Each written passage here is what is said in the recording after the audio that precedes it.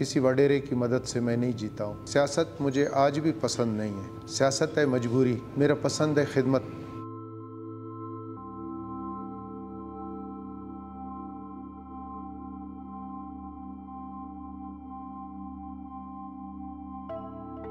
पचहत्तर सालों से पहली दफ़ा वहाँ ऐसा हुआ है कि आम आदमी लोअर क्लास का वहाँ से जीत कर आया। है जागीरदार का बेटा वो चीसन में पढ़ता है, लंदन की यूनिवर्सिटी से बैरिस्टर बन कर आएगा।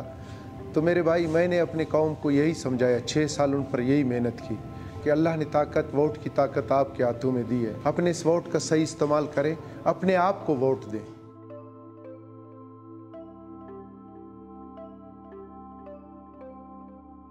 हमारा इलाका तबाह बर्बाद है। पसमंदगी की वजह से लोग चैन चा, चाहते थे। अवाम चाहता था कोई आए हम में से आए।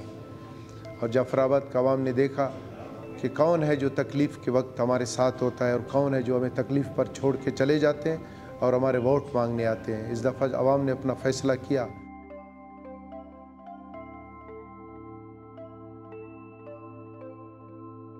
यकीन करो इस टाइम अगर जाफराबाद में इमरजेंसी बुनियादों पर कम से कम दस हज़ार लोग इस टाइम दस हज़ार ख़ानदान बेघर हैं।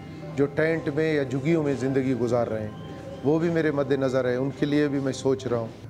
वहाँ पर एक पूरा डिस्ट्रिक्ट हेडकोार्टर डेढ़ लाख की आबादी है उसकी, और उसका कोई सेवरेज का निज़ाम नहीं है। सिटी में सबसे पहला काम सेवरेज का है। उसके बाद बार बार पानी, सैलाबी आता है और पूरे शहर को तहस नहस करता है, उसको फ्लड प्रोटेक्शन बंद देना है।